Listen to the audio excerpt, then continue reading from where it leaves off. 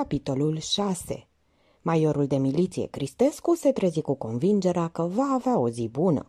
Dimineața era strălucitoare, cu înălțimi azurisii de fate, ploaia din ajun primenise aerul, frunzele iederei își recăpătaseră verde smaraldul, cățărându-se invazie de șopârle pe zidul blocului, păsărelele, vrăbii, rândunici, porumbei, ba i se păru că deslușește chiar și viers de ciocârlie. Se afla un plin festival. În timp ce se rădea în baie, se trezi fluierând și ascultă cu îngăduință melodiile interpretate la orele dimineții de diverse formații de muzică ușoară.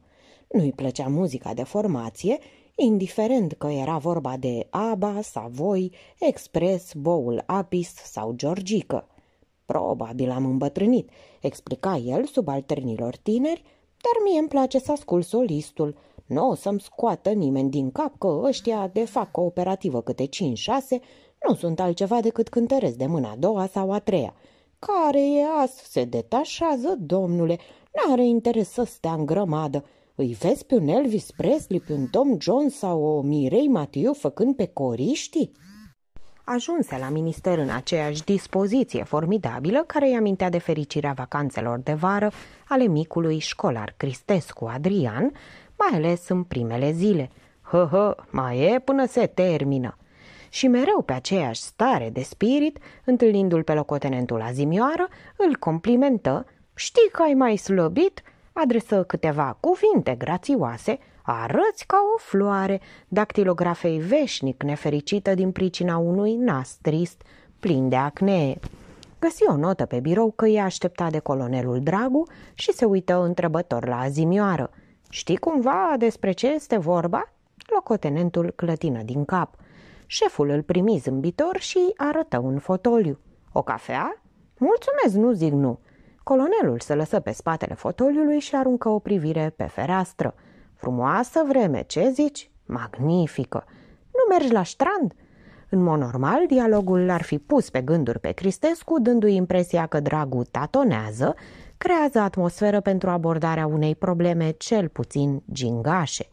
Maiorul se simțea însă atât de fericit încât își închipuia că toată lumea încearcă aceeași stare de spirit. Nu m-am gândit, Cred că n-am fost la strand din, din, din studenție. Chiar așa? Colonelul lungea vorba.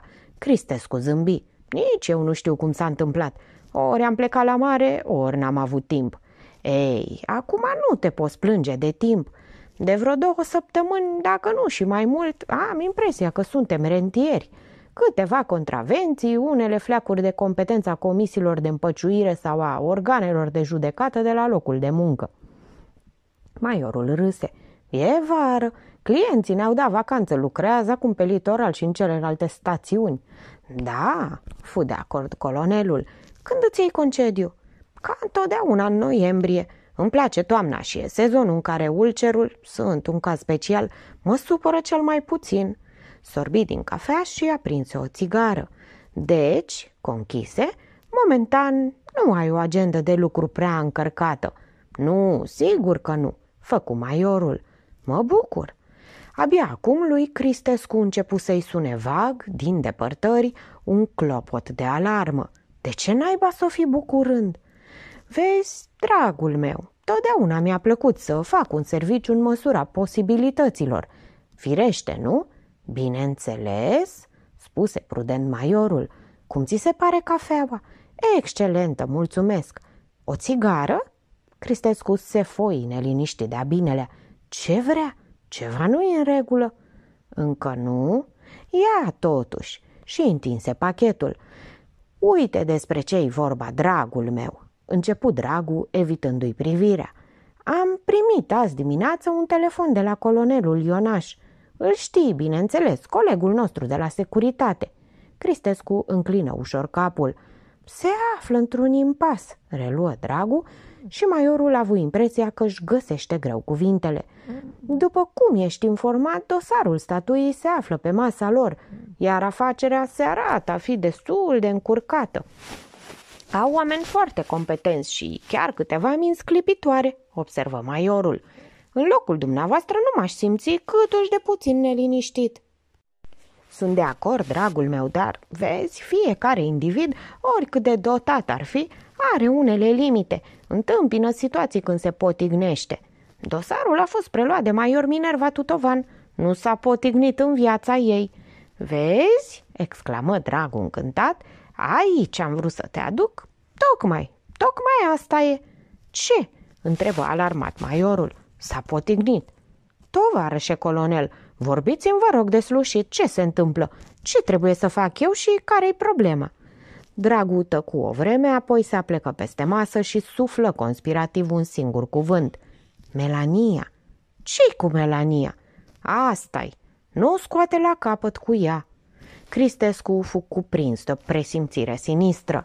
Glasul răsună pițigăiat. Și ce vrea să-i fac eu? Dragul hotărâ să recite totul dintr-o suflare. Mai ușor înghiți pilula dintr-o dată, întreagă decât fărâmițată. Prin intermediul colonelului Ionaș, superiorul ei, care m-a sunat acum jumătate de ceas, ținându-se seama de experiența dobândită în contact cu personajul respectiv, ești solicitat în calitate de colaborator. Maiorul văzut concomitent roșu, verde și galben dinaintea ochilor, auzi parcă râsul mefistofelic al Minervei și sări catapulta din fotoliu. Niciodată! N-am isprăvit. Este vorba despre un ajutor colegial, maiorul Tutovan, punându-și nădeștile în această colaborare. De încâte am înțeles, speră să găsească în dumneata un consilier prețios și nu cred că e cavalerește să o dezamăgești. Ei, bine, prefer să fiu un bădăran, dar am să o dezamăgesc.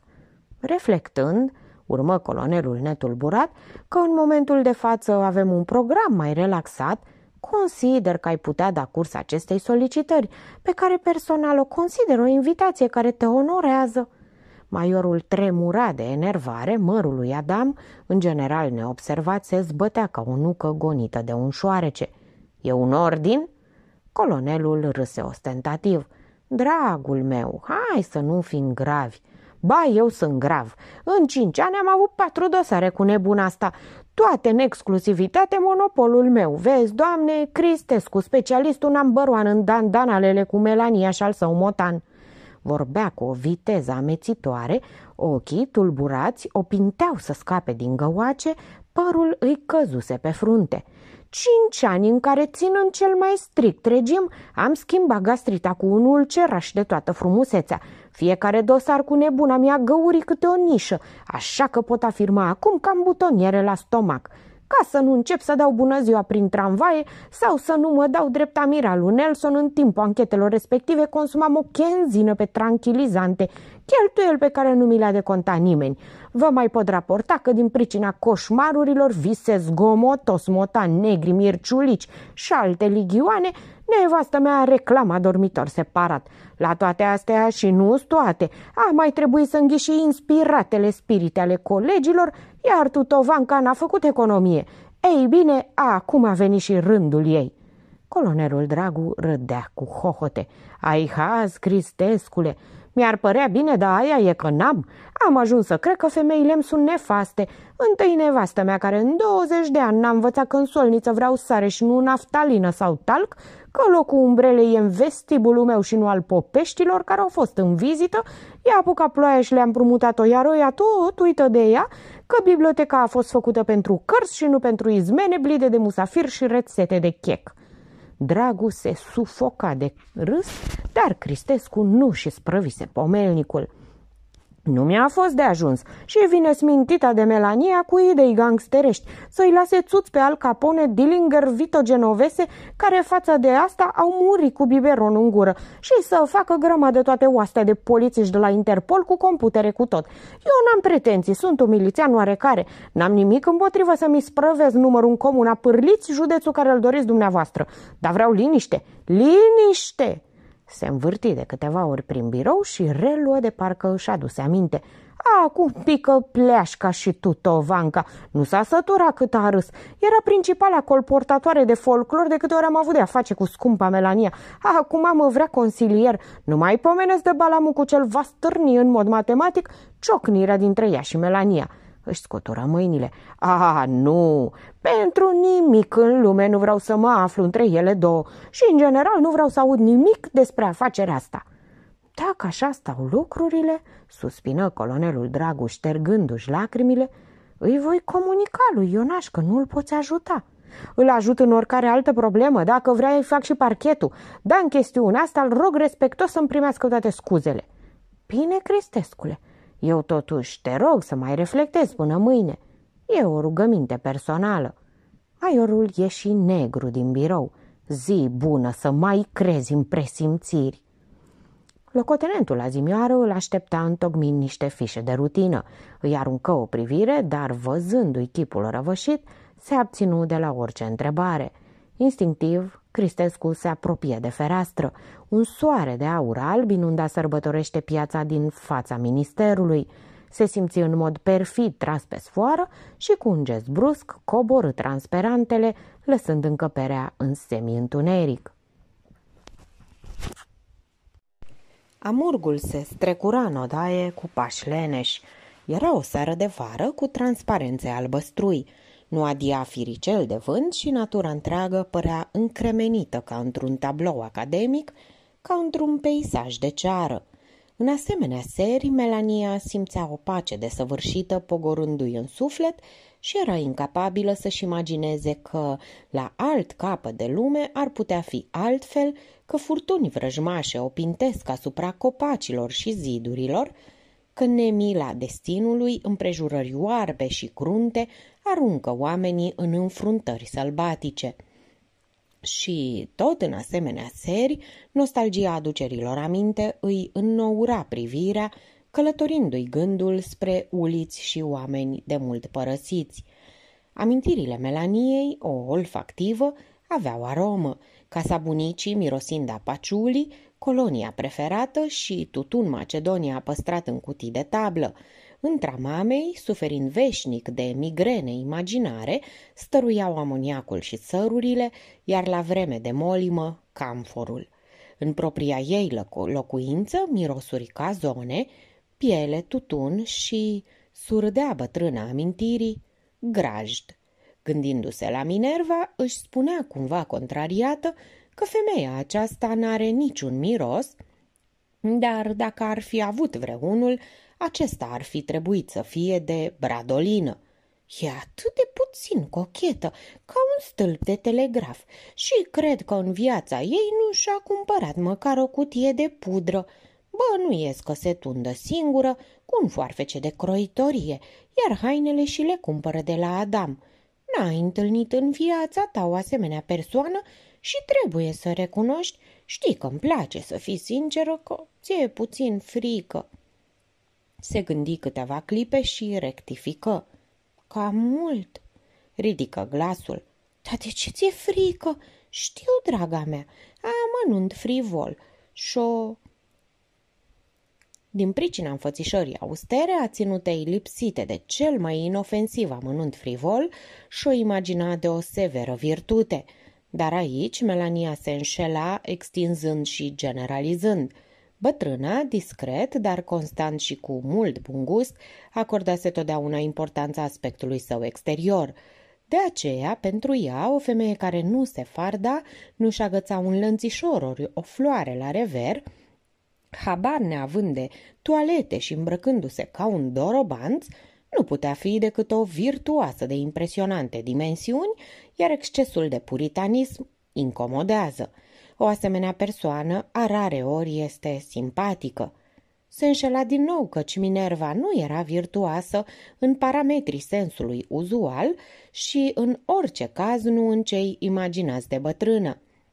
Califica greșit, confundând noțiunile. Minerva era, cu generoase majuscule, o mare originală, în culori cam stridente, poate, manifestându-se în special în îmbrăcăminte și celibatul practicat cu încăpățânare, dar se afla tot atât de departe de obtuzitatea unui capitan din armata salvării, ca portocalii Andaluziei de oamenii de zăpadă din Alaska.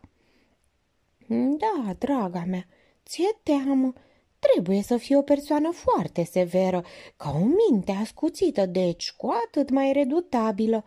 Bineînțeles, și domnul Maior Cristescu este foarte inteligent, dar vezi, dumnealui are blândețe și... Uite, îți dau voie pentru o singură dată Să nu fi prea modestă. Mai are și o slăbiciune pentru tine. Din păcate, doamna Tutovan nu a gustat nimic din personalitatea, din ceea ce califică alții drept farmecul tău. Miunatului Mirciulică o avertiză că trebuie să prepare cina. Concentrată, gândindu-se mereu la statuie și la Minerva, îi încălzi laptele și vârâ la cuptor o tavă de biscuiți.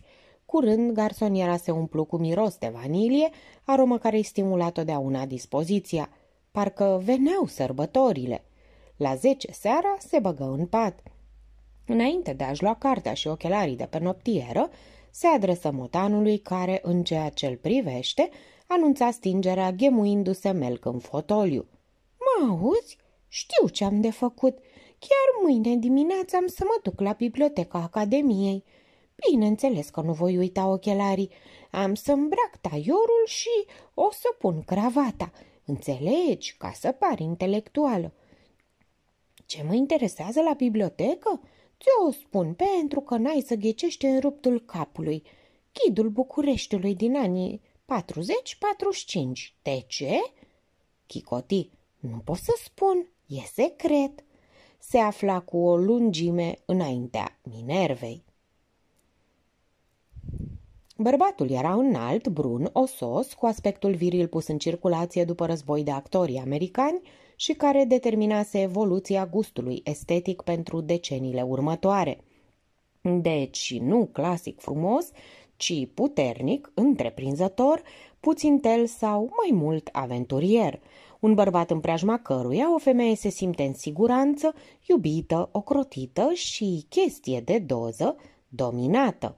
Sentimente pe care un Charles Boyer, Tyrone Power sau Ramon Novaro nu le-ar fi putut inspira sexului slab al anilor 80. Avea probabil în jur de 50 de ani și o intuiai din prima secundă o impresionantă carieră sentimentală. Emilia nu-i dădea mai mult de 40, se simțea fascinată de întreaga lui făptură, adora accentul ciudat în care ea nu deslușa decât distinție și bună instruire. Se numea Grig, Grig și atât. Știi? chicotea înveselită, ești primul bărbat din viața mea cu care m-am culcat fără să știu cum îl cheamă. Și se simțea îmbătată de original. Totul era original la Grig.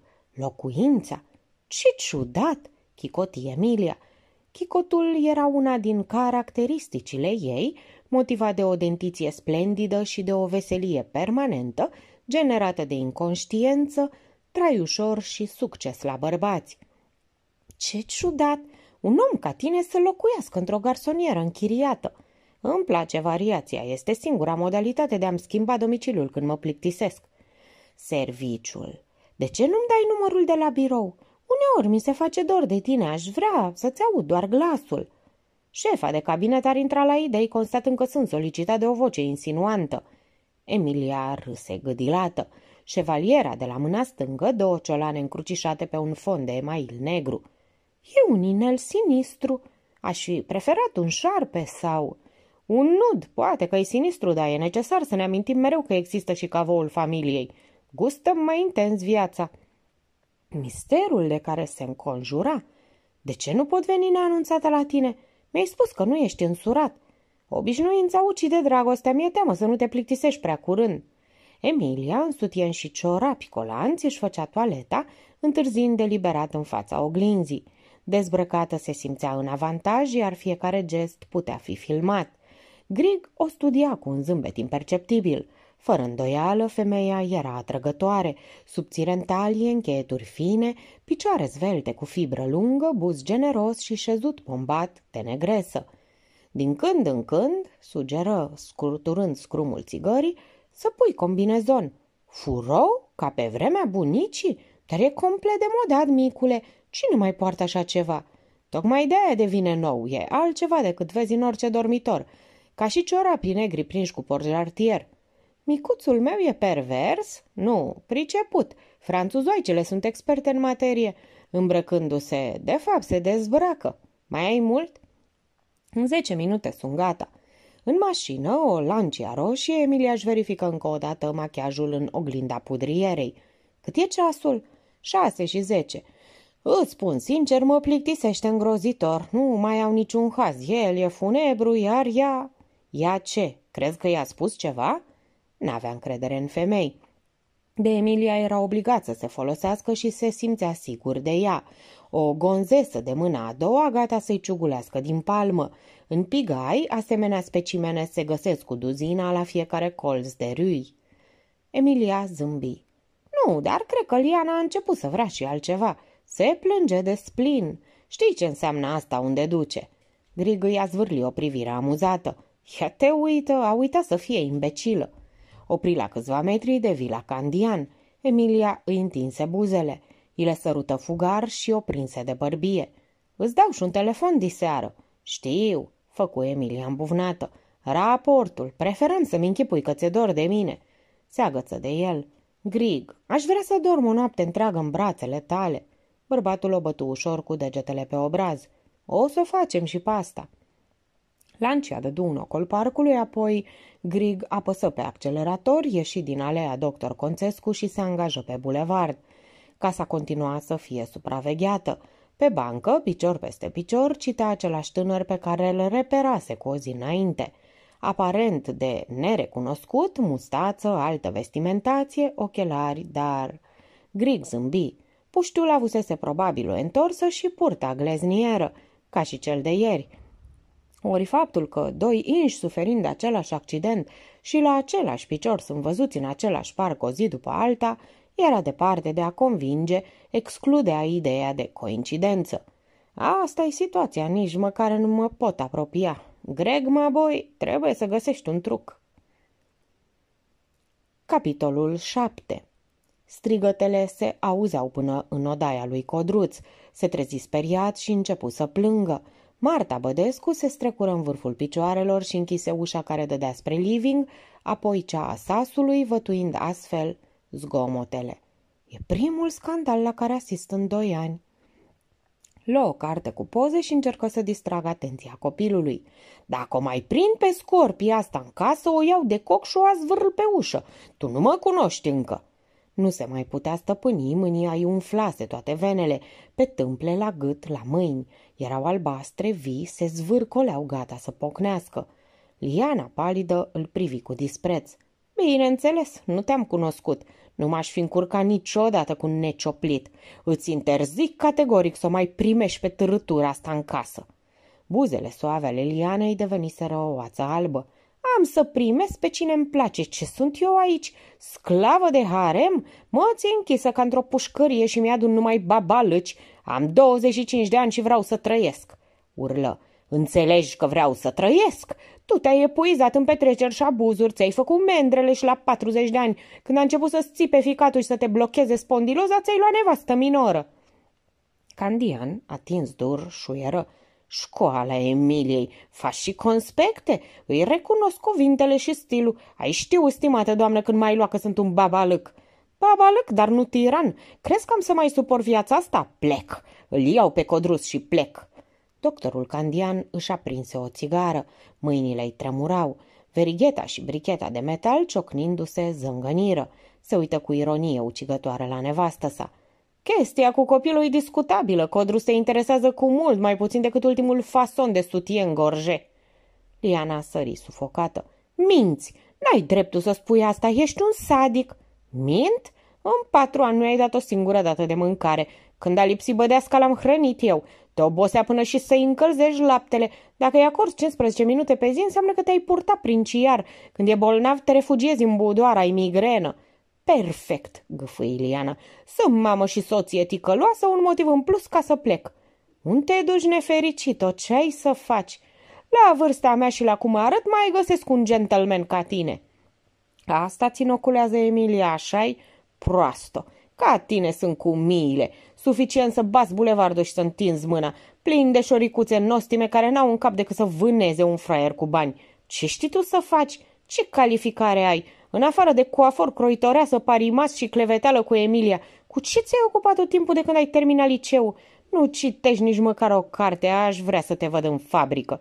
Aha, îl întrerupse Liana, îl citesc pe Voicu. Crezi că trebuia să-mi deschidă el ochii? Îți închipui că nu te-am cunoscut? De ce m-ai luat? De imbecil care te-a iubit necondiționat și a încercat să scuze toate păcatele. E tânăr, abia un copil. Îți dau ocazia să nu mai fii un imbecil. Chiar acum plec la ai mei. Slavă, domnului se mai găsește câte ceva în frigider. Nu o să trebuiască să bat bulevardul căutând o casă de bani. Dinu Candian știa că procedează greșit, fără tact, că face afirmații care, chiar conciliindu-se, ridicau un zid între ei, dar nu se mai putea cenzura. Indiferent ce ai de gând să faci, ia înainte câteva lecții de la Emilia. E o mentoră ideală pentru debutante. O idee excelentă. Soneria muzicală de la intrare emise trei triluri melodioase. Se uitară unul la celălalt și Iliana, răsucindu-se brusc, dispăru în dormitor, trântind ușa ostentativ. Candian își trecu degetele prin păr cu un gest reflex, trase de poalele hainei de casă și se duse să deschidă.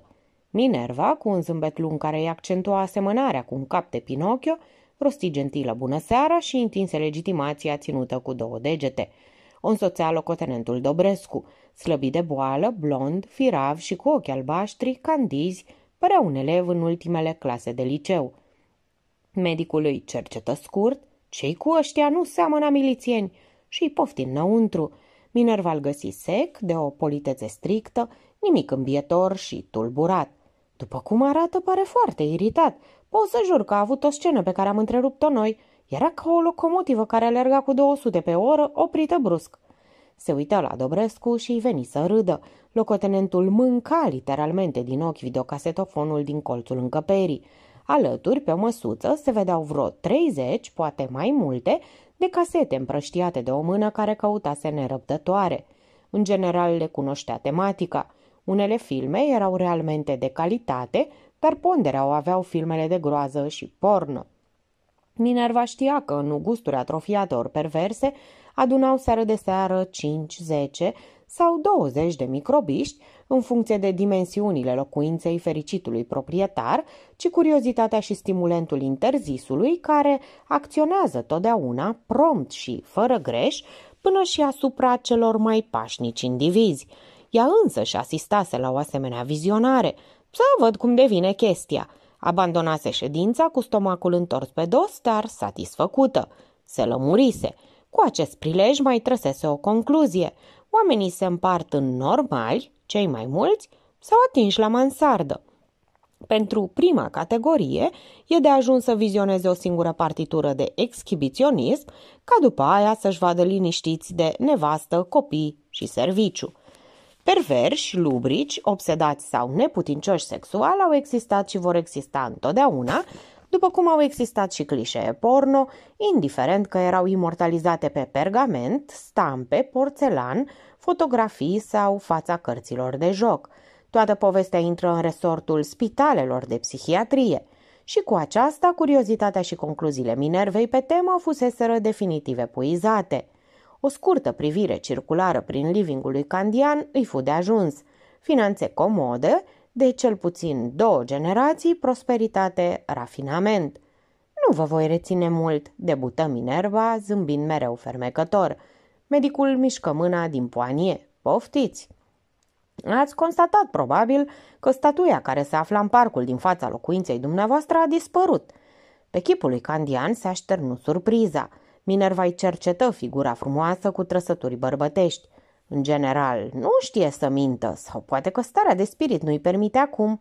Vom vedea. Ce înseamnă a dispărut? Minerva surâse. O mai vedeți sau nici n-ați observat că nu mai există? Bineînțeles că am observat, ceea ce mă nedumerește este termenul pe care l-ați folosit.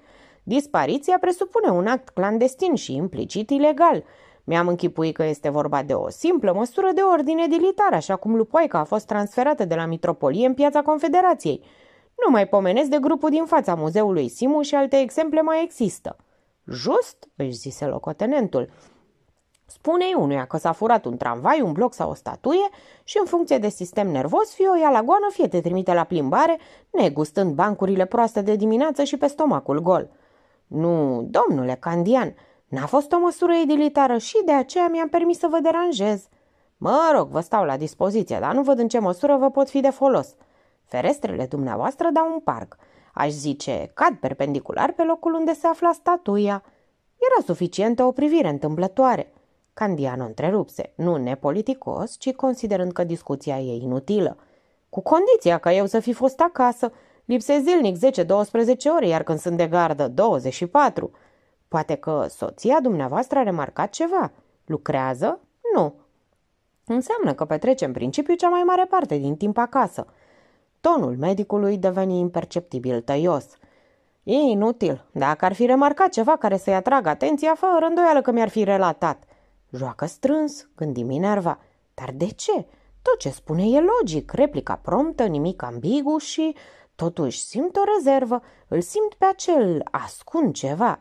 Aș vrea să stau de vorbă și cu doamna. Se simte foarte rău, e în dormitor. Aha, conchise Minerva, meciul a fost deci conjugal. Nu voi reține mai mult de câteva minute. Medicul se ridică din fotoliu, rosti cu vădită neplăcere. Mă duc să o chem. Liana a apărut ținută de oraș, de ajuns să-și ia geanta și cheile și putea străbate fără probleme calea Victoriei sau să se ducă la teatru. Minerva își stăpâni zâmbetul. Ciudată ținută pentru o femeie care își dă sufletul în dormitorul întunecat, cu comprese pe frunte și cana cu infuzie de mușețel pe noptieră.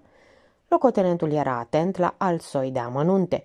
Femeia îl lăsase cu gura căscată. Tânără, superbă, strălucitoare și elegantă, făcea parte din exemplarele pe care le admirăm la cinema, pe prima coperta revistelor editate pe hârtie japoneză, de lux sau prospectele de reclamă, dar nu le întâlnim niciodată pe stradă sau la serviciu, nu le suntem vecini, nu stăm la aceeași coadă și nu îl luăm împreună pe 320 în fiecare dimineață. Minerva îi aruncă o privire pătrunzătoare. Obrazul e înghețat, dar n-a plâns. Evită să se uite la bărbată său. Aici a fost scandal, nu-ți benguială pe câmp de mași și margarete cu plase de prins fluturi. Gelozie? Nu era greu să intuiești peisajul căsniciei candian. Diferența de aproximativ 20 de ani, poate și mai mult dintre soți, și aspectul uluitor al doamnei spuneau mai mult decât un desen de detaliu a la Brujel. Regret că sunt obligată să vă stânjenesc. Soțul dumneavoastră mi-a spus că nu vă simțiți bine. N-are importanță.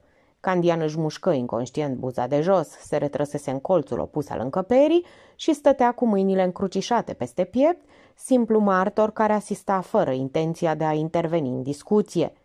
Am venit să iau câteva relații privitoare la, să-i spunem pe nume, furtul statuii din parc. Știu, m-a informat soțul meu. Privea atât de fix chipul Minervei, încât aceasta își zise că face eforturi extraordinare pentru ca ochii să nu-i alunece spre Candian. Dat fiind că nu sunteți încadrată, reluă Minerva, presupun că mare parte din timp vi-l petreceți în casă. Vă înșelați, cea mai mare parte din timp nu-l petrec în casă. Dar la ce moară îl maci în soro? Se mulțumi însă să emită convențional. A, da, maxilarele lui Candian jucau sub piele, dacă n-ar fi avut gura încleștată, probabil s-ar fi auzit scrâșnetul măselelor. Deci, n-ați remarcat când a fost ridicată statuia? Vedeți, operația care a avut loc în doi timpi a fost subtilizat întâi bustul și abia în ziua următoare soclul nu se poate efectua în câteva minute. Sunt de acord cu dumneavoastră, dar n-am văzut și n-am auzit nimic. Mai locuiește cineva aici? Doar fiul meu de patru ani. Nu cred că v-ar fi de mare ajutor. Fiul meu, înregistră Minerva și nu al nostru. Aveți femeie de serviciu? Nu, se corectă. Desigur, există doamna Bădescu, guvernanta lui Codrus, dar nu locuiește la noi. Cu unele excepții, la ora 5 pleacă acasă. Minerva își privi ceasul. E șase. A ieșit acum zece minute, interveni răgușit medicul. Dacă m-ați fi avertizat că vreți să o audiați, o rețineam. Îi știți cumva adresa? Numărul de telefon stă pe lângă radio din ce mi-amintesc. Perfect. Dobrescule, notează-l tu. Încă o întrebare. Cunoașteți persoanele care locuiesc în imobilul Maur de vis-a-vis? Nu, spuse doctorul. Nevastă sa se mulțumi să dea doar hotărât din cap. Nici măcar din vedere? Nici. De câți ani locuiți aici, domnule doctor? De patruzeci. Într-adevăr bizar, observă Minerva. Ce anume? Minerva enumeră, comentă pe gânduri. 40 de ani, o stradelă cu cinci imobile, izolată, un părculeț unde mi închipui că în serile de vară, când căldura de brânci afară din casă, nu există un singur loc pe bancă. Ei, și? se încăpățână medicul. Minerva râse. Păi asta e, mi se pare cu totul singular să nu observ măcar cine stă peste drum, cum arată la față, cât de engleză ai fi ca mentalitate în materie de relații cu străinii și, tot fără să vrei, te ciognești în atâta amar de vreme cu un vecin sau altul. Îl vezi întorcându-se de la serviciu ori de la piață, la geam, curățind zăpada sau udându-și florile. Probabil, spuse sarcastic Candian, eu nu am spirit de observație. Nici doamna? De obicei, femeile sunt mai dotate în acest sens. Liana ridică din numeri. Nu observ nimic din ceea ce nu mă interesează. Minerva i-a zvârli o privire subțire. Dar ce te interesează? Cât privește ceasurile de arșiți țale serilor de vară consumate în parc pălăvrăgind cu vecinii, isprăvi Candian, constituie un gen de divertisment pe care nu-l practic. Vă mulțumesc, spuse Minerva ridicându-se. Îmi permit să vă dau o sugestie, cercetați cu atenție toată casa, cum s-ar zice, din pivniță până în pod. Candian o privi mirat, Liana întoarse capul. Ce trebuie să caut? Pe cine? râse Minerva, dat fiind că dumneavoastră nu vă cunoașteți vecinii și normal nu întrețineți relații cu ei, înseamnă că aici în casă se ascunde un terț. Nu înțeleg nimic. Probabil, făcu neglijent Minerva, căutați totuși. Astă noapte la ora 2 și 15 minute exact, a fost înregistrat un schimb de semnale luminoase între lucarna vilei dumneavoastră și mansarda imobilului Maur de dincolo de parc. Încă o dată, vă mulțumesc pentru timpul acordat. Se aflau încă în grădina candienilor și Minerva simțea în ceafă, în spinare, privirea medicului care îi urmărea, putea să jure că nu se înșală, ascuns probabil după perdele. El, nu și ea, care printr-un act de mică, inofensivă complicitate ar fi acceptat implicit un început de reconciliere. Minerva se uită mașinal în jur. Copaci bătrâni, gazon îngrijit, tufișuri de trandafiri. Pe o latura casei un stol de vrăbiuțe ciocăneau zidul neted. Astea sunt fraiere făcute grămadă. Ce naiba ciugulesc în pustiu? Sau s fi jucând de asesam, deschide-te, ridică din numeri. Treaba lor pe semneau energie. Ți aștept impresiile, Dobrescule, și îl trase pe trotuarul celălalt căutând umbră. O pereche clasică, emise prudent locotenentul. Mai pe larg, ea tânără, el bătrân. Minerva se opri în mijlocul străzii și holbă ochii și așa imenși, părea consternată. Cum adică, Dobrescule? Un tip la circa 45 de ani e bătrân? Adică eu sunt bătrână după capul tău? Nu m-ați înțeles, făcu locotenentul făstăcit, deși asta era părerea lui și a tuturor oamenilor de bun simț pe care îi cunoștea. După 35 de ani, mult 40, nu mai ești tânăr. Mă gândeam că o față de ea. Gândești cam mult de la o vreme. În sinea ei însă se amuză. Parcă eu eram mai isteață. La 18 ani țineam teorie lui tanti Caliopi că dacă nu devii celebru până la 26 de ani, de ce tocmai 26 de ani? Nu mai devii niciodată și nici nu merită să mai trăiești. Mătușii sa îi dădu dreptate la modul absolut. Se simțise dintotdeauna celebră și în multe privințe nu se înșela. Te ascult, Dobrescule, o diferență de vârstă care nu promite. Ce să promit? Ai început să vorbești eliptic? Vreau să spun că o asemenea căsătorie nu durează, nu poate să dureze. Locotenentul își înfipse unghiile în palmă. Dacă îl scotea ceva din sărite, erau situațiile când Minerva se făcea că nu înțelege. De ce să nu dureze? Pentru că mai devreme sau mai târziu o să se ivească unul de vârsta ei și atunci adio Dedi și adio video. Îi prelo intonațiile Minerva, adio vila, adio mașina, adio dolce farniente. Măi băiete, o vezi tu pe al de candian care o pus să sufletește de un tinerel, abandonându-și avuția și suspinând de fericire cu respectiv într-o garsonieră achiziționată în rate și sperând că poate în cinci ani, dacă o mierlește nașul sau bunica Angelina, ori să se plimbe într-o limuzină trabant? Ce-i drept, ea nu e rău. Z scăpă Dobrescu, dar crezu că o îndreaptă la timp și declară ipocrit. Da, arată destul de bine. De câte ori ți-am spus, Dobrescu, Vasile, că nu suport să faci pe filistinul? Zână ai vrut să spui, recunoaște. Recunosc, îngână locotenentul spășit. Îmbucurător. Toți imaginez că eu sunt incapabilă să sesizez frumosul sau că m-aș putea simți atinsă cu o femeie astea admirată în prezența mea. Măi băiete, făcu ridicându-și nasul ca o suliță, pe mine nu m-a interesat genul ăsta de competiție. Era sută la sută sinceră. Eu nu m-am preocupat de fleacuri, am avut altele în și pe cap, Dar ți-o spun eu, Maior Tutovan, că încă nu s-a născut tipul ăla pe care, dacă aș vrea așa ca exercițiu, să nu îl fac să-mi lege și returile dansând tango. Dacă-i tipul de la circ, poate, gândi Dobrescu, dar se abținu de la comentarii. Minerva schimbă brustonul. Băiatule, Candian ascunde ceva. Nu-mi dau seama și de ce, dar se sizez că într-o măsură care nu-i neglijabilă, chestiunea cu statuia îl afectează. Că nu-i străin de această poveste. Locotenentul, fericit că subiectul a deviat, observă. L-ați făcut knockout când i-a spomenit de semnalele luminoase. Înainte de a porni către Candian, am citit raportul lui Moraru. Trebuie să vedem neapărat ce se întâmplă în imobilul Maur. Este categoric locuit și probabil și vizitat. Nu mă întreba cum, că nu știu.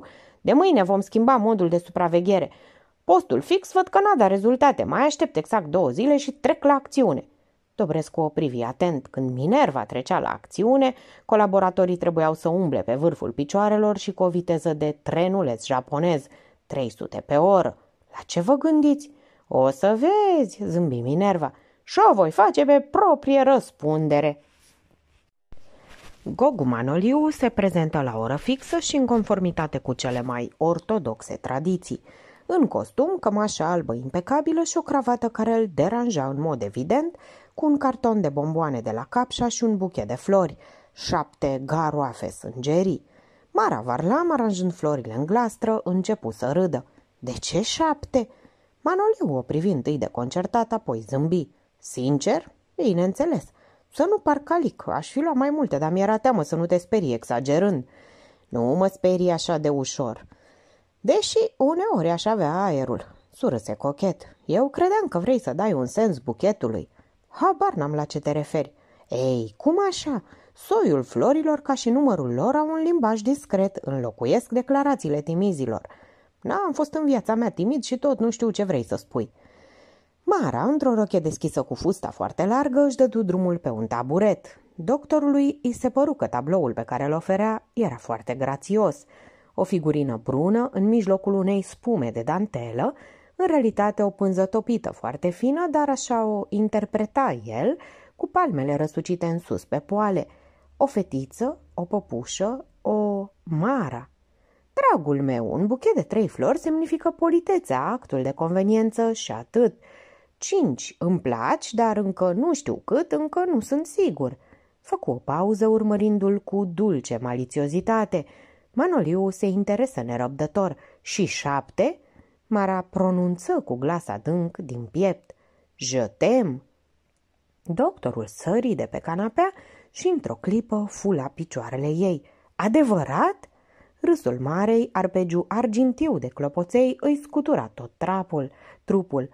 Nu eu ți-am oferit buchetul, dar îl primești?" Mara îi trecu ușor degetele prin părul încărunțit. Florile sau? Sau, pe ăla vreau să-l primești." Se închise dintr-o dată în ea însăși. Îi plăcea să cocheteze, dar nu atunci când simțea că partenerul arde, este angajat, poate nădăjdui inutil – în asemenea situații, devenea prudentă, își cântărea cu zgârcenii afirmațiile care ar fi putut fi interpretate eronat de o minte înfierbântată, evita gesturile de tandrețe. Mara, te iubesc de doi ani. Femeia se încordă, trupul devenit țeapăn. Ca toți oamenii scunzi, Mara avea o ținută foarte dreaptă, dar și crezul ei personal în materie. La orele de dirigenție își dăscălea mereu elevele – nu stați cocoșate și cu burta înainte ca servitoarele de altă dată. Fiți atente cum mergeți. Un mers defectuos de rață sau dezarticulatori, bălângănind o mână de parcă ați vrea să scăpați de ea, pune minus și uneori anulează cea mai bună siluetă. Te iubesc, repetă Gogu cu o intensitate care o înspăimântă. Nu vrei să vorbim despre altceva? La telefon mi-ai spus că trebuie să discutăm serios. Manoliu își îndreptă haina și se așeză din nou. Să nu crezi că recurg la subterfugii, la trucuri ieftine. Noi fi eu vreun expert în materie, dar am curajul sentimentelor mele. Într-adevăr, am o chestiune pe care vreau să o discut cu tine, dar nenorocirea e că tot acolo ajungem. N-ar fi mai bine să renunțăm. Manoliu oftă. Nu, draga mea, te iubesc prea mult, vezi? Mă interesează mult, prea mult ce se întâmplă cu tine, sunt prea îngrijorat. Mara încercă să râdă. Mă sperii? O doresc din suflet. Mai asculta și ai deveni prudentă. Mara, am o mare rugăminte. Cred că e rândul meu să fiu îngrijorată de vii patetic. Ironiile n-au sens, te implor, ascultă-mă. Evită să-l vezi pe bebe în următoarele două-trei săptămâni, măcar două. Mara întinse mâna iritată după pachetul de țigări. Va să zic că asta era. Nu fi proastă, se enervă Manoliu. Dacă ai fi nevasta sau fica mea, te-aș plezni acum cu plăcere.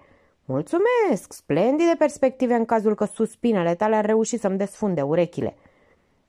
Repet, ești o proastă. Puneți mintea în priză și chipzuiește. Ce câștig eu, eu, Gogu Manoliu, un bou gata să mă iau un piept cu oricine care ți-ar jigni doar umbra, dacă tu nu te întâlnești până la Kenzin ailaltă cu marțafoiu. Ce ar fi să sperii termenii? Puțin nu-mi pasă de termen când e vorba de situația ta. Gândește-te, Mara, ce-aș putea urmări eu rugându-te să faci acest sacrificiu? Sacrificiu pe dracu nu se putu abține să nu completeze. Nu te-am sedus în doi ani, mi-am pus în cap să o fac acum? Nici măcar pe mine n-ai să mă vezi dacă ai suspiciuni. Știu că îl iubești, eu un blestem și pentru tine și pentru mine. Și dacă aș fi cu cinci minute mai inteligent, mi-aș vedea de drum vorba aia, madame, je vous tire ma reverence. Și m-aș așeza la altă masă și cu alte cărți. Ce nu-i logic aici? Mara, deși ușor descumpănită, încerc, încercă să surâdă. Știi ce e la fals silogism? Închipuiește-ți. Am patru clase primare la Pocreaca și nu le dau pe toate sorbonele. Vrei să-mi spui și mie care e ipoteza falsă? Imaginarea primejdie în care mă aflu fiind alături de bebe. E lucru cel mai adevărat pe care l-am spus vreodată, îți jur. Explică-mi-l. N-am să ies bine pe ușă și ai să te repezi la telefon. Firește, știi că-l iubesc și mi s-ar părea cât se poate de normal să încerc să-l salvez, așa cum faci tu acum cu mine. Manoliu își trecu palma peste fruntea înfierbântată de parcă s-ar fi șters de sudoare. Mara, Mara, Bădescu nu poate fi salvat. E intrat în cloacă în fiecare zi îmi vin în minte îngrozitoarele mlaștini din Amazoane. Mocir la lânghite, îl trage centimetru cu centimetru. Femeia se ridică ostentativ. Refuz să discut în condițiile astea. La fel de ostentativ, doctorul Manoliu se înfipse în fotoliu. Dacă ți închipui că mă poți concedia, te înșeli. Faci ce poftește, am teze de corectat, trec dincolo. Gogu Manoliu i-a zvârli o privire de șmecheraș de stadion sau bulevardul 6 a 3 -a. Vrei să-mi spui că ți-ai chemat învățăcei acum în iulie de la mamaia și Sinaia ca să le dai extemporal? Fără replică, Mara întoarce spatele îndreptându-se spre dormitor. Dintr-un salt, medicul fu lângă ea. O prinse brutal de mână și o așeză cu forța pe canapea. Îi sprăvesc în cinci minute. Mara îl privea înspăimântată și Manoliu o surâse.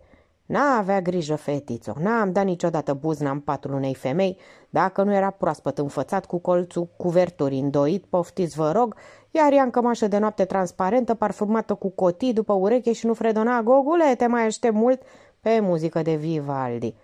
Hmm, pretențios ca un pașă. asta e firma, ne-am împăcat? Hai, draga mea, râzi. Spune-mi deslușit despre ce-i vorba. Am vrut să te cruț. Nu, nu-i nevoie. Gogu Manoliu o privi lung, brusc, mâinile îi zvâgniră. Știai că Bebe a trăit doi ani de zile cu Emilia? Că în primele timpuri ați fost contemporane? Mara păli, își încleștă mâna pe brațul canapelei. Este o mârșăvie din partea ta. Am fost convins că așa vei gândi. Nu îmi rămâne decât să plec. Se ridică hotărât și își băgă în buzunar bricheta și țigările. Mara întinse mâna. Stai, spune, iartă-mă. E inutil. Nu, te rog, se, bâșbâ- se bâlbâi ca un copil. Nu mai zic nimic. Manoliu ezită câteva secunde, se apropie de fereastră și începu să vorbească cu spatele întors. Dacă aș fi fost o scârnăvie, ți-o spuneam de mult. De ce aș fi așteptat atât? Ai dreptate, lasă asta cum zi odată. Simțea că ochii o frig și, ca totdeauna, când își stăpânea eroic lacrimile, durerea de cap îi prinsese în clește nemilos timpanele și ceafa. Cum de ești atât de informat? Emilia a fost acum trei ani pacienta mea. N-am știut. Sunt o grămadă de lucruri pe care nu le știi. Mai departe. În perioada respectivă trăia un semiconcubinaj. Emilia nu-i o pudică, îi place să-și fluture amorurile, și face o fală din numărul lor. Nu-i oricine în stare de asemenea performanțe, înțelegi? Pe urmă, chestiunea era de notorietate și candienii sunt în temă. Nu mi-au spus nimic. Normal, ce sens avea? Suntem prieteni de 15 ani, din care 10 ai lipsit din București. Puteau totuși să mă avertizeze. Manoliu se răsuci, un zâmbet blând îi scălda chipul. În legătură cu ce? Ești un copil. Să-ți comunice că un bărbat la 30 ceva de ani a avut o legătură înaintea ta? Mara privea mereu fix pentru a-și împiedica lacrimile. Întrebă gătuită. De unde știi că legătura a continuat și... și după ce m-a cunoscut? De, oftă medicul. Îți place să-ți răsucești cuțitul în rană. Voi v-ați încurcat la 1 mai? Țin minte exact, pentru că plecaserăm cu toții să dejunăm la Cernica. În vară, Bebe te-a anunțat foarte esențial care filmă la Cernavodă, asta ca să justifice ulterior trupul bronzat. Cernavodă și nu o stațiune unde tu l-ai fi însoțit. Bref, ea am întâlnit la eforie, închiriaseră, mai bine zis Emilia închiriase, ea era cu seiful. O vilă pe faleză chiar vis-a-vis -vis de restaurantul Neon. Mara își acoperi fața cu palmele deschise ca un copil și Manoliu se simți stors de milă. Ar fi mângâiat-o pe păr, i-ar fi cuprins umerii cu sentimentele cele mai inofensive, dar instinctiv simți că e mai bine să evite gesturile de tandrețe concretă. De ajuns, rosti Mara, spunem ce se întâmplă acum și de ce sunt eu în primejdie. Pe scurt, te rog, simt că nu mai rezist. Emilia, o știi sau o bănuiești, este amestecată în tot felul de afaceri necurate, cultivă societatea unor oameni dubioși pe care eu nu i-aș recomanda în niciun caz fiicei sau surorii mele. N-a avut niciodată serviciu și totuși poșeta i-a fost totdeauna bine garnisită cu albastre. Trește cu șeful de sală de la restaurantul excelent. Ei și? Cât și-ar jupui la mușterii și tot n-ar putea satisface apetiturile Emiliei. Și să mai știi, fetițo, că banii nu se scot din restaurantele de lux, ci de la bombe. Prețuri accesibile, clientelă buluc și în toate zilele săptămânii. Mi-amintesc de un tip care cânta la cina, lăutar din tată în fiu.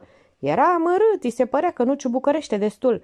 He, he, he, avea dreptate bietul tata când zicea, mă băiatule, să nu câzi niciodată în cârciun cu geamuri mari. Mara ridică enervată capul. Îi sprăvește cu divagațiile. Scuză-mă, ziceam că Emilia învârtește tot soiul de matrapazlâcuri. În momentul de față croșetează unul dintre cele mai abjecte, dat fiindcă lovește în prieteni. Despre cine-i vorba? Candienii îl șantajează pe Dinu. Nu cunosc mobilul, dar faptul e cer și categoric, iar Bădescu se condează. Nu se poate. Fetițo, totul e posibil când ai de-a face cu oameni imposibili. De aceea te-am rugat să fii mai rezervată un timp. Sunt indivizi fără scrupule și n-ar șovăi să te lovească. Și de obicei o fac perfid, dacă asta le-ar cânta ceva. Mai există și aspectul discreditării tale. Lucrurile de acest gen se descoperă totdeauna. Urmează o anchetă în care obligatoriu vei fi amestecată ca amanta oficială a lui Bădescu. Ești în învățământ, pretențiile de moralitate sunt aici mai exigente decât în oricare alt domeniu. Ce impresie crezi că ar face în cancelarie la inspectorat, la minister, o profesoară care trăiește cu un excroc, dacă nu cumva calificarea juridică e mult mai gravă, iar activitatea acestuia face obiectul serviciilor de anchetă penală? Se așternu tăcerea. Minute lungi în care Mara, deșirată, încerca senzația fizică stranie că pe umeri o apasă, strivind-o blocul, o lume, viața, universul – pe Manoliu îl sfâșia suferința femeii iubite și sentimentul de neputință. Am să plec, îi dau un calmant și plec. Telefonul îl făcu să tresară pe amândoi. Mara privi câteva clipe aparatul de parcă n-ar fi înțeles despre ce e vorba. Întinse mâna și emise un alo răgușit. Da, eu. Vino. Manoliu se interesă scurt. El? Da, el. Manoliu o privi scurt și părăsi apartamentul fără niciun cuvânt. Spre surprinderea Melaniei, lucrurile merseseră foarte repede. La zece, intelectuală până în vârful unghiilor, ținută sobră, ochelar și servietă, se prezentase la bibliotecă, iar la zece și douăzeci îi se eliberase permisul. După circa un sfert de oră, ghidul Bucureștilor pe anul 1942 se afla în fața ei. Lucrez la o istorie a Bucureștilor, se justificase dinaintea bibliotecarei care nu manifestase niciun interes special, servind-o automat ca un robot. Foarte interesant, apreciase femeia. Nu mai surprindea nimic. De unăzi, cineva îi solicitase un tratat despre psihologia peștilor. Și culmea era că tratatul cu pricina exista. Va fi o lucrare vastă, preciză bătrâna. Îmi închipui, concurați pe Giurăscu și Ionescu John. Melania surâse, echivoc. Era sigură că persoanele nu făcuseră niciodată parte din cercul cunoștințelor ei. Scoase din servietă un teanc de coli comerciale și un pix de trei lei. Își fixă ochelarii și aruncă o privire încântată în jur. În sală, puțină lume. Vacanța studenților, concediile, goleau bibliotecile în lunile de vară. Deschise ghidul și începu să-l răsfoiască cu atenție. De fapt, o interesa fasciculul final. Aici erau însemnate, pe harta cartierului respectiv, principalele imobile din București. Fabrici, uzine, societăți, instituții, clădiri administrative, hoteluri, mari magazine și restaurante sau locuințe private de relief. Palatul Ghica, Știrbei, Cantacuzino, Casa Vernescu, Filipescu, etc. Când repera alea Alexandru Conțescu se simțea atât de mirată încât își scoase ochelarii ca să vadă mai bine. La numărul 3 era semnalat sub pavilion turcesc sediul unei societăți de import-export, Abdullah Kulesi. Melania a avut impresia că pică din nori. Sfinte, doamne, ce căutau turci în 42 pe strada Conțescu? Ca foarte multă lume avea o imagine clasică, cumva tradițională, despre supușii otomani. Când spunea turc, îi mișunau dinaintea ochilor șalvari, fesuri și turbane, iatagane, narghilele și iminei. Secolele nu măturaseră reprezentările romantice din cărțile copilăriei, reverberații ale autenticelor clișee trăite cândva de străbuni.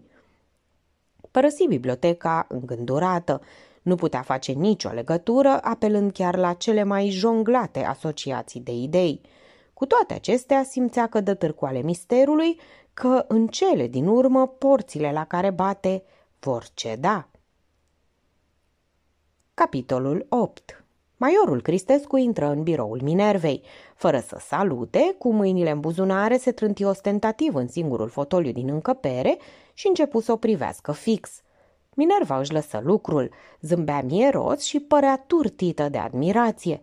Ia te uită, așa vă învață la miliție, intrați fără bună ziua ca în biserică.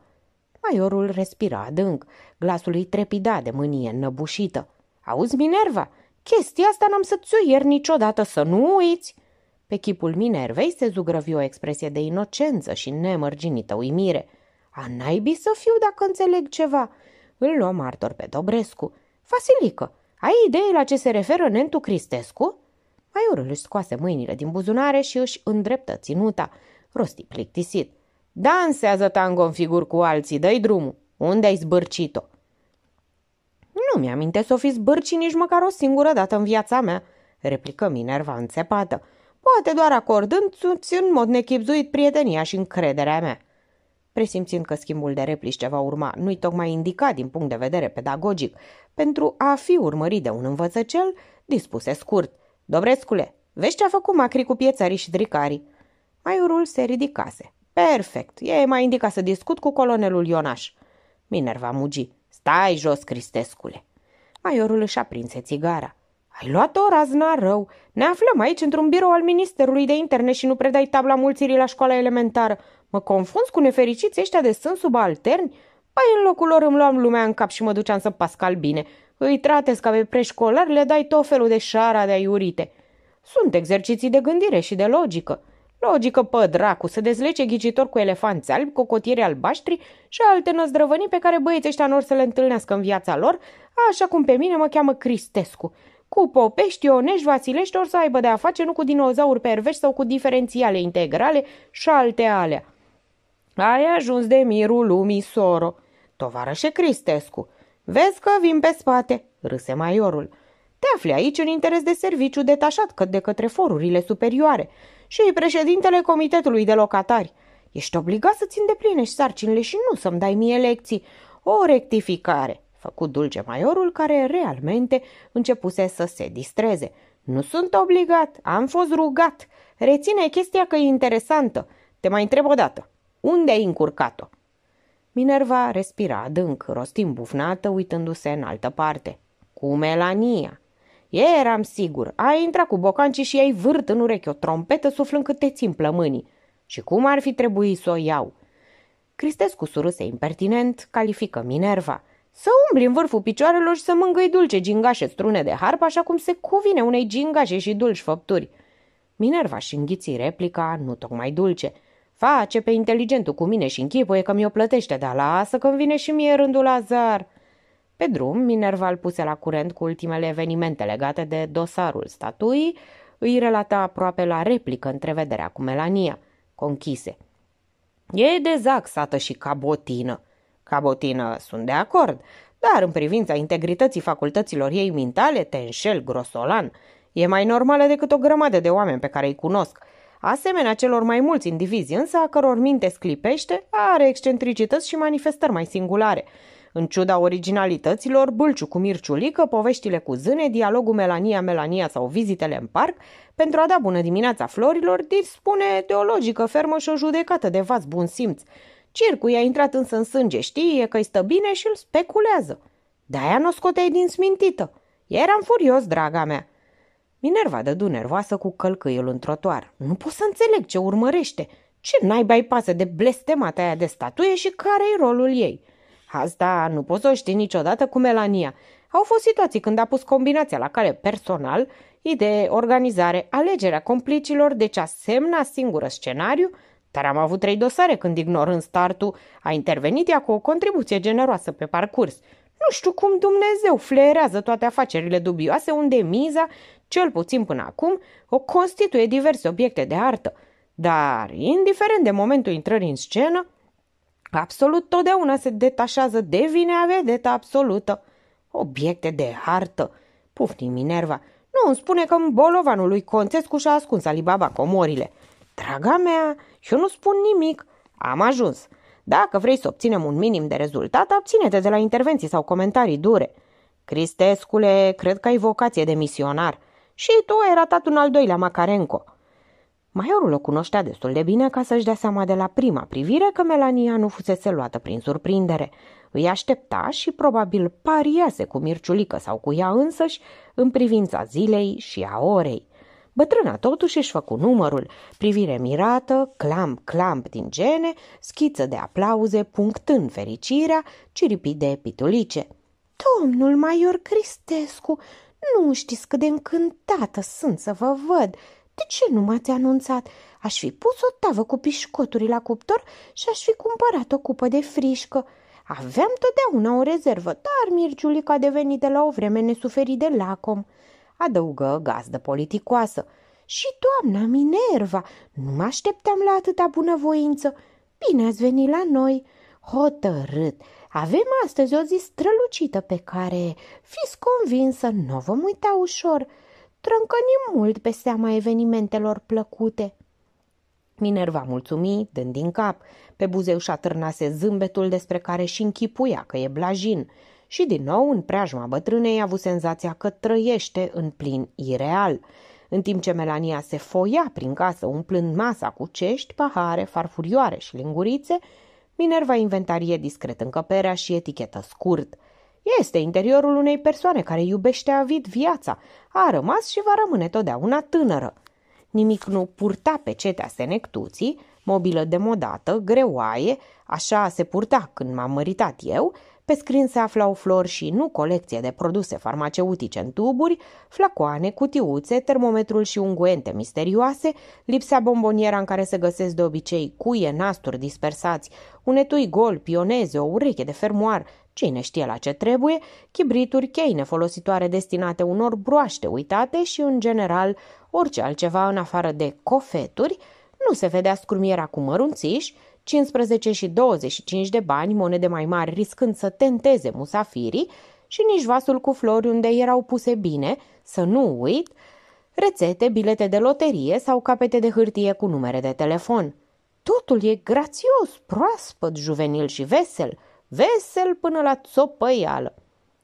După cum hotărâseră Cristescu, dădu star discuției. Desigur, bănuiți de ce v-am deranjat. Nu sunt atât de isteață, dar poate că dacă m-ați lăsat să ghicesc de trei ori, în legătură cu dispariția statuii unchiului dumneavoastră, v-am convins, am fost foarte necăjită că doamna Minerva nu a crezut că suntem rude. Probabil eu nu am fost îndeajuns de convingătoare, dar trebuie să recunosc că prezența dumnea ei mă intimidează. O persoană atât de impozantă. Minerva încercă să zâmbească gentil. Faceți abstracție de mine. Cum ar fi posibil? Dumneavoastră nu puteți trece neobservată, nici chiar în mijlocul unei defilări. Cristescu zâmbi în sinea lui. Aici nu se înșală deloc. Știți? se adresă din nou Minervei. Presimt că noi două vom deveni prietene foarte bune. Nu îmi doresc nimic altceva. Și Mirciulică va fi extrem de încântat. Vedeți? Începusem să ne simțim cam singuri. Când îmbătrânești, încetezi să mai fi interesant și eu însă mi-mi dau seama că am devenit o amintire. Vă exprimați minunat, aveți o frază elegantă, cu expresii și întorsături neașteptate. Cristescu în sinea lui se amuza copios. Hai să vedem acum cine minte mai frumos. Melania își plecă modestă privirea. Adevărul este că sunt foarte talentată la compuneri. Sunt convinsă, colegul meu, arătă spre Cristescu, mi-a semnalat nu odată acest amănunt care asocia cu fantezia de care dispuneți, face ca poveștile dumneavoastră să fie foarte interesante. Maiorului a zvârli o privire iute. E incapabilă să se abțină de la aluzii fine. Bătrâna replică senină. Dumnealui e foarte generos, dar trebuie să vă mărturisesc că toate poveștile pe care îi le spune Mirciulică sunt din Ispirescu sau frații Grim. Eu nu am fost în stare să născocez niciuna. N-aș fi zis, zâmbi Minerva. Cristescu interveni repede. Apropo de statuia unchiului dumneavoastră. Iertați-mă, exclamă bătrâna. Sunt vorbă lungă și uneori mi se întâmplă să uit că există persoane mult mai ocupate ca mine. Aveți cumva noutăți? Colega mea se ocupă de acest caz și este mai în măsură să vă informeze. După cum vi s-a adus la cunoștință în arhiva consultată, nu s-a găsit nicio dovadă care să ateste rudenia dumneavoastră cu doctorul Conțescu. Nu am fost o familie atât de nobilă încât să ne constituim arborele genealogic. Eu nu sunt notar, dar îmi închipui că foarte puțini oameni știu cine a fost văr de al treilea, de exemplu, cu bunicul lor. La urma urmei, ce importanță poate avea acest amănunt? Fapt este că statuia a dispărut. Fără îndoială, zâmbi maiorul, dar în absența unei legături de rudenie cu răposatul doctor Conțescu, interesul dumneavoastră față de dispariția statuii pare cam straniu. Melania a părut foarte surprinsă. Poate că nu știți, dar eu mă uit în fiecare seară la televizor. Mi se vorbește foarte frumos despre îndatoririle cetățenești și ne învață că orice persoană trebuie să aibă grijă de bunurile obștești. Vezi, Cristescule?" făcut triumfătoare Minerva. Tu mă ascultai doar cu o ureche când îți vorbeam despre rolul educativ al televiziunii." Se întoarse spre Melania și te se adresă pe un ton din care curgea mierea ca dintr-o lingură prea plină. Spuneți-mi, doamnă, manifestați aceeași uh, uh, diligență față de toate monumentele din capitală? Melania o privi cu aceiași ochi nevinovați, micșunele mirate. Fii liniștită, draga mea, ei nu au ce să-ți reproșeze. Poți chiar să te distrezi, dar cu măsură. Bineînțeles. Și cum procedați concret, adică? Nu sunt sigură că înțeleg întrebarea dumneavoastră. Mă interesează tehnica pe care o folosiți, căci ar putea fi popularizată. În București există sute de obiective culturale. Numai în cimitirul Belu se află duzini de autentice monumente de artă, fără să mai vorbim de parcuri, grădini și așa mai departe. Cele din Cismigiu în special, o întrerupse Melania, sunt foarte grațioase. Am o adevărată slăbiciune pentru statuia Maicii Smara, dar cel mai mult iubesc tânăra fată cu ulciorul, știți, din fața pavilionului cu porumbei. M-am simțit extrem de necăjită când se case... Cine? Ulciorul, bineînțeles, nu mai curgea apă din țuțuroi și am făcut o adresă la primărie semnalând neajunsul. Nu vă închipuiți ce spectacol minunat oferă guguștucii care se înghesuie pe marginea bazinului ca să-și astâmpere setea. Când s-a întâmplat asta? Cristescu zâmbi. Minerva a agățat un fir. Acum trei săptămâni, spre satisfacția mea, situația s-a remediat foarte repede.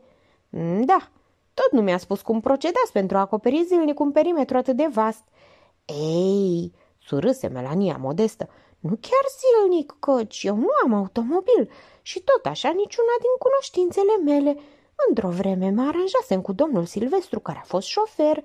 Știți? Transporta butelii de aragaz, da, din păcate a ieșit la pensie. Oricum, pot spune că măcar o dată la două săptămâni vizitez fiecare obiectiv cultural, așa cum v-ați exprimat dumneavoastră. Probabil, presupuse Minerva, v-ați împărțit capitala în zone. Exact, a schicit fără să vă fi spus eu, declară bătrâna încântată că Minerva e atât de deșteaptă. Maiorul se miră. Ce naiba a pățit Melania de joacă atât de imprudent? Mai ales acum, în plin proces de sistematizare a capitalei, când orașul își schimbă obrazul de la o zi la alta până și un copil te prinde cu minciună. Suficient o singură aruncare de undiță. Într-adevăr, meritoriu, aprecie Minerva. Îți dai seama, Cristescule, doamna are o activitate bogată și folositoare. Ține, aș putea spune la zi, evidența monumentelor de artă din București. Îmi dau seama. Iată, continuă Minerva, un soi de preocupare la care ar trebui antrenați cât mai mulți cetățeni, căci unuia singur, oricât ar fi de atent, îi pot scăpa unele detalii. Bineînțeles, fu de acord maiorul, așteptând curios pumnul care urma să o facă knockout pe Melania. Aceasta detașată părea că se umflă în pene. Vezi, chiar doamna care este atât de atentă și condusă de cele mai nobile intenții, n-a băgat de seamă, deși trece măcar o dată la două săptămâni prin Cismigiu, că la pavilionul central nu mai există porumbei de cel puțin 15 ani. Fizionomic, în orice caz, bătrâna pară minunat lovitura. Pe chipul delicat, uimirea nemărginită nu mai încăpea. Adevărat? Mi se pare extraordinar. Probabil însă că atunci când îndrăgești unele imagini, ele continuă să trăiască în subconștientul tău, independent de realitate. Nu-ți dai seama că ele nu mai există, pentru că afectul tău nu acceptă această eventualitate. Hmm, frumos spus, dar slăbuț, notă Cristescu. Minerva dădu din cap.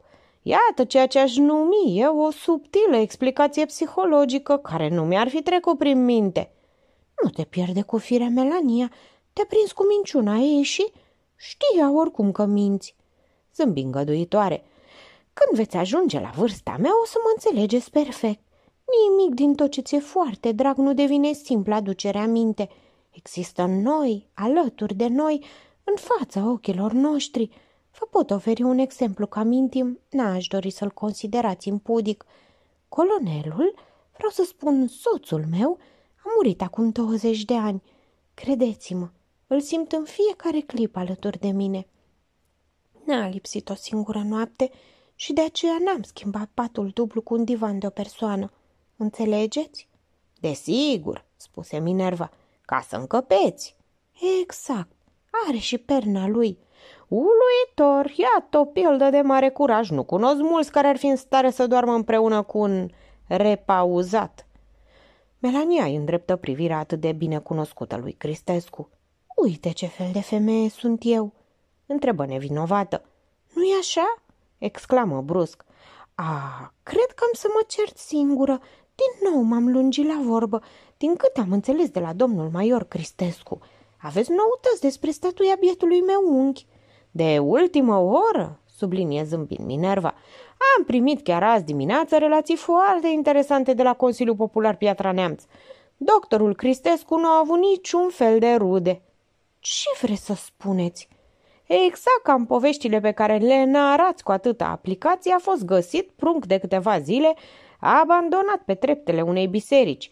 A crescut la orfelinat, îmi închipui cu câtă satisfacție primiți dumneavoastră o nepoată afectuoasă, înzestrată cu un puternic și de nădejde spirit de familie, orice amănunt nou privind la viața doctorului Conțescu. A marcat, draga mea. Dar trebuie să recunoști că ai avut ghinion. Dintre atâta statui, tocmai tu să dai exact peste una orfană. Se simțea totuși indispusă, nemulțumită. Oricum te suspecta, dar ăsta nu e un motiv ca tu să comiți gafe. Nu fă pe naiva. Știi bine că mă gândesc la porumbeii din Cijmigiu. Se amenință cu degetul în oglindă. Ai grijă, Melania. Rândul viitor, dacă nu ești atentă, pun zăvorul și nu-ți mai dau drumul să intri în casă. Și mai știi că eu mă țin de cuvânt.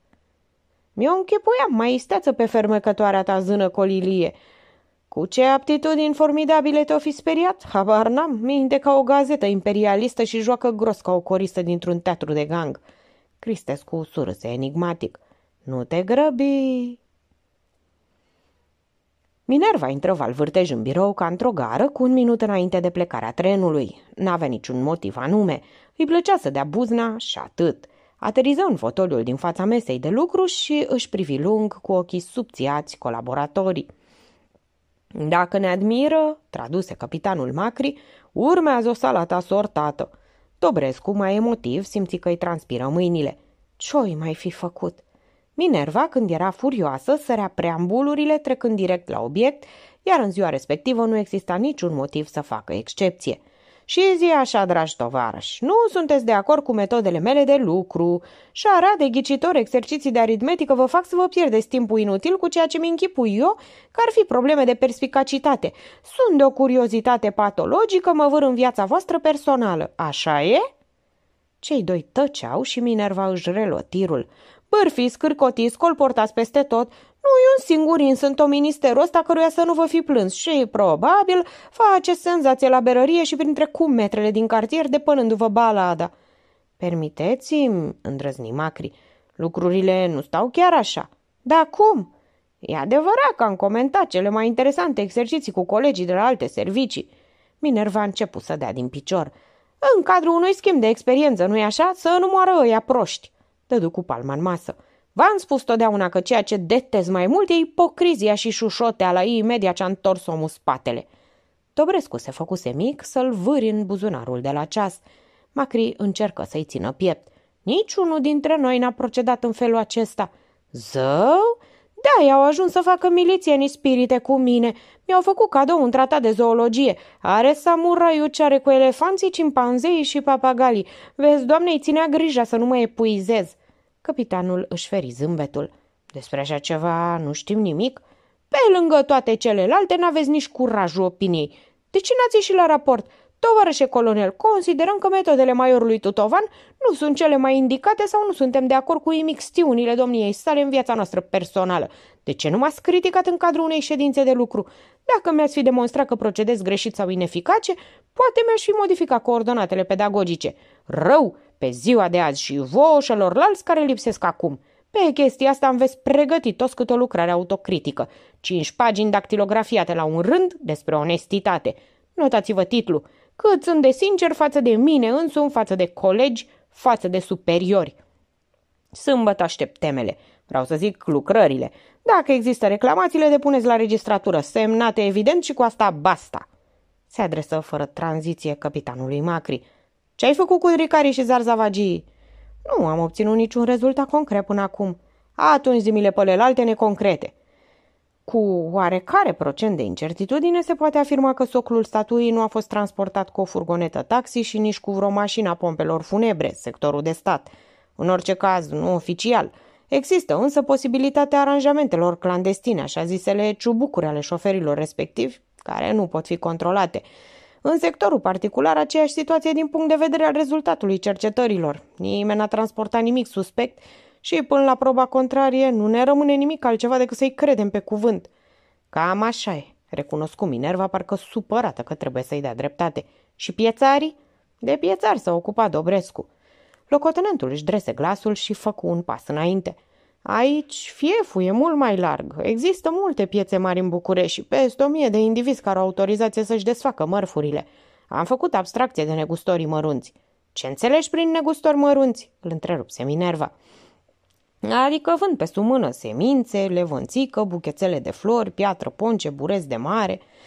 Am înțeles sări peste inventar. În consecință, lăsându-i la o parte pe ăștia, am considerat că un individ care dispune de o furgonetă și deci face negoț în stil mare, trebuie obligatoriu să aibă Auschweiss. Concret? Și cum ai acționat? Era realmente curioasă, nu-i simplu să treci prin sită dita mai turma de precupoeți. În primul rând, spuse Dobrescu ridicându-și în privirea, în sfârșit privirea din parchetul dat cu palux, am triat piețarii care dispun de furgonete. Există în satele și comunele din jurul Bucureștiului, pe o rază de 30 de kilometri, 48 de asemenea proprietari, am lista la mine. Își duse mâna la buzunar și puse pe masă o coală de hârtie. Am să mă uit mai târziu la ea, cum ai procedat în continuare? Am solicitat ajutorul inspectorilor de piață. Minerva îl cercetă încântată. Știi că faci progrese, practic. Ce le-ai solicitat? Întâi le-am pus întrebarea clasică despre vreun eventual amănunt ieșit din comun, remarcat. Apoi, care din furgoniști a lipsit din piață în zilele de 14 și 15 iulie? Ei, nu, râse Minerva, ca aici în plăcuși, dar ce, ăia semnează condica de prezență? Nu, roșii Dobrescu, dar trebuia să mă agăs de ceva. În afară de faptul că n-ai nevoie de o zi întreagă ca să transporti un bolovan dintr-un cartier într-altul. Altceva? I-a rugat să-mi nominalizeze oamenii considerați cei mai abili și mai veroși, oții, cum spun indivizii din breaslă. Șmecherul e oț mare. Toți sunt oți, aprecie Minerva. Dacă nu ești pișicher, te, lasă de ne- te lași de negustorie, te angajezi la spații verzi și uzi mușcate pe mijlocul marilor bulevarde. Eu i-am cerut și, Mă rog, și am selecționat 14 inși, unul dintre ei, Firică Rădoi din Dridru, lucrează în Matache Măcelaru. Mi s-a părut interesant. Inspectorul mi-a relatat că pe 15 iulie a surprins un schimb de replici între individ și frate sau gică rădoi. Ai rostui măcar de o cinste. Și încă ce cinste! Firică părea nespus de încântat. Da, muscălească. Cât? Cinci roabe și un foraibăr. Ceva să zică asta? Se interesă Minerva. Mi-a tradus inspectorul. În limbajul inițiaților înseamnă 5.000, o roabă egală 1.000 de lei și o discreție. Ridică din numeri. Asta e tot. Destul, Dobrescule, te-ai descurcat satisfăcător. Să sperăm că suntem pe pârtia cea bună. Coincidența ar fi superbă. Dar de ce n-am crede o leacă și în noroc? Vom sta de vorbă cu Mohica anul ăsta. Trebuie să recunosc că mi-ați mai îmbujorat dispoziția. O cam feșteliți voi în general, da, din când în când mai scoateți de un binișor. Trase sertarul biroului, scotoci câteva clipe și le întinse câte un plic. Cei doi se priviră nedumeriți. Minerva surâse strălucitoare, numai soare și flori. Ca să vedeți că nu sunt supărată pe voi, v-am dat câte o mică problemă de perspicacitate. Aștept soluția peste trei zile, sunteți liberi. Mai bine rămânea supărată, oftă Macri. Nu puteai să fii mai puțin isteț? Dobrescu puse plicul în buzunar. Nu o cunoști, era în stare să ne pună la colț. Când se auzi soneria, Codruț năvăli în hol. A venit mama?" Dinu Candian o lăsă pe Emilia să intre. Era ca totdeauna epatantă, parfumată, surâsul și expresia festive. Mângâie neglijent creștetul băiețelului. Ce faci, micuțule?" Codruț, murdar la gură de ciocolată, își ridică ochii cafenii. Când vine mama?" Ce ciudat sunt copiii!" gândi Marta Bădescu. O iubește pe maică să fără să aibă din partea ei un singur gest de tandrețe. N-am văzut-o luându-l în brațe decât la fotograf. O poză adorabilă de reclamă, bună de reprodus pe cărțile poștale ilustrate. Când vine mama? Băiatul, nerăbdător, gata să plângă, dădu din picior. Emilia îi zâmbi. Cu același surâs, frumoasă-i viața, iar eu, formidabilă, se adresa tuturor, copii, adulți, bărbați, care o interesau sau nu, vânzători, poștași. Curând, codruț. Medicul iritat îl expedie pe un ton dur – Treci imediat în camera ta. Doamnă Bădescu, ar fi de dorit să-l supravegheați mai îndeaproape. Bătrâna răspunse înțepată. N-am fost avertizată că băiatul nu are acces în celelalte încăperi ale casei. Vă avertizez acum, de aceea există o nursery. Marta Bădescu prinse mâna băiatului. Codruz nu se lăsă târât și începu să urle. Candian excedat îi dădu o palmă răsunătoare. Violența gestului îl făcu să amuțească. Bătrâna, la fel de uimită, luă repede copilul în brațe și părăsi holul. Emilia, picior peste picior, observă cu indiferență. Nu te mai țin nervii, monșer!" Candianu i-a zvârli o privire întunecată. Ce-ți pasă? Mie nu-mi pasă deloc, încerc cel mult o surpriză. Mi închipuiam că știi să te stăpânești. Ai vești de la Liana?" Tonul era ușurel, ce mai face coca? Dar în subteranele întrebării zăceau tone de răutate. Medicul se crispă. Cu două zile în urmă, imediat după plecarea Minervei și a lui Dobrescu, Liana îl părăsise. Tortura de dor și de gelozie o căutase pretutindeni. Nu se afla la părinți, nici la o mătușă, singura de care Liana se simțea atașată, nici... Investigațiile medicului se epuizaseră aici din lipsă de adrese și realiză dintr-o dată, năucit, ce puține știa el despre nevastă sa, cât de îngust era coridorul care ducea spre inima, spre gândurile, spre viața ei. În afară de Emilia, nu-i cunoștea niciun prieten, nu dispunea de un singur număr de telefon unde ar fi putut o căuta. Și totuși, Liana ieșea zilnic, lipsea mult, respectând doar un program conjugal legat de orele mesei. Lui Candiani se păruse nedem să o urmărească și acționase în virtutea liniei pe care și-o propusese, să nu ia țâțe dorul de libertate încercând să-l sugrume. Cum îl cheamă?" întrebă brusc. Emilia se uită la el ca un nebun. Pe cine?" Tipul la care se ascunde." Femeia izbucni în râs. Tu ești obsedat, micule. Acum o înțeleg de-a binelea pe biata fată. La un asemenea regim nu rezistă nici măcar o surdă mută cu nasul încălțat de o pereche de ochelari negri. Unde e?" urlă dezlănțuit medicul. Ai nebunit? De unde vrei să știu eu?" Tu știi." De ce? Sunt confesorul ei și dacă aș ști, aș sfătui o prietenește să rămână acolo unde e și într-o gaură de șoare ce ar fi mai bine decât aici." Ura desfigura chipului din Ucandian. Ce animal dezgustător ești tu, Emilia!" Femeia râse obraznic. Nu toți bărbații!" accentuă. Bărbații, micule, sunt de aceeași părere. Vrei să facem un test? Hai să mergem pe calea victoriei și numărăm câți tipi. Medicul o întrerupse brutal. Mie greață. Și acum ce vrei? Repede că trebuie să irisezi după tine. Nu fă pe imbecilul, știi bine de ce am venit. Azi e 18, nu? Sau imaginea Lianei în alte brațe mai viguroase și mai proaspete probabil ți-a tulbura mințile. Îndeplinește-ți obligațiile și te salut. Nici tu, nici, uh, arătă în jur, mausoleul ăsta nu-ți de natură să-mi stimuleze digestia. Nu. Ce nu? Nu sunt de acord ca tu să intermediezi afacerea. Emilia, mereu zâmbind, întinse alene mâna după sacul de antilopă. Tacticos băgă înăuntru țigările și bricheta și se ridică încet, îndreptându-și languros silueta suplă. Cum crezi? În locul tău însă m-aș gândi de două ori. După aceea, nu există cale de întoarcere. Medicului trecu prin minte una din frazele preferate ale mătușisii, Matilde Bobescu. Bătrâna cultiva cu frenezie genul aforistic, adorând frazele pompoase și penibile, cel mai adesea opere proprii. Foarfecele destinului e necruțător. Ascunde-l, nu îl lăsa la îndemână, declară răgușit. Asta mă privește pe mine. Spune-i gangsterului tău că la cuantumul și calitatea pretențiilor emise am dreptul să-l cunosc. Prada îi va fi livrată numai personal, îi stau oricând și oriunde la dispoziție pentru prealabila discuție de afaceri, fără martori. Dinule, spuse Emilia cu o voce neobișnuit de prietenoasă, pe omul ăsta nu-l păcălești ca pe un copil. Sunt cel puțin două decenii de când și-a dat bacaleoratul și de atunci. A văzut multe. Nu știu ce vrei să combin, dar cât de viclean ar fi festa pe care i-o pregătești. Îți garantez că tu vei fi prima victimă. Palavre, am venit cu o contrapropunere. Poți să-i spui că nu am încredere în tine și lasă-l pe el să judece ce are de făcut. E ultimul meu cuvânt. Grig? Emilia se asigură încă o dată că ușa cabinei telefonice este bine închisă. Afară aștepta o singură persoană, o bătrână cu un câine mops care gâfâia de căldură. Da, ce-ai făcut?" Nimic, nu acceptă să lucreze cu intermediari. Urmă o pauză, apoi Emilia îl auzi râzând scurt. Te spoiliază de comision, deci vrea să mă cunoască înainte.